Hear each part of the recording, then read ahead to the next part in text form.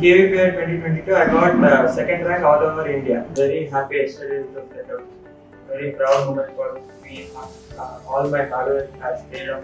I credit my success to my parents who always had faith in me, like uh, the management of uh, Narayana and our uh, faculty and uh, dean at our uh, campus. The Narayana system has kept a definite path for me for a, from a very young age. So, like, uh, they teach us uh, stuff which are required at 11th and 12th from early age so that we'll have an easier time in 11th and 12th. And they keep regular exams so that uh, we can test ourselves and uh, check our errors and always try to rectify them so that we don't make the same errors again. We used to write uh, error like whenever we had exams that would be like weekly. Faculty and the mentors were very open to suggestions and uh, they, were, they had a lot of patience.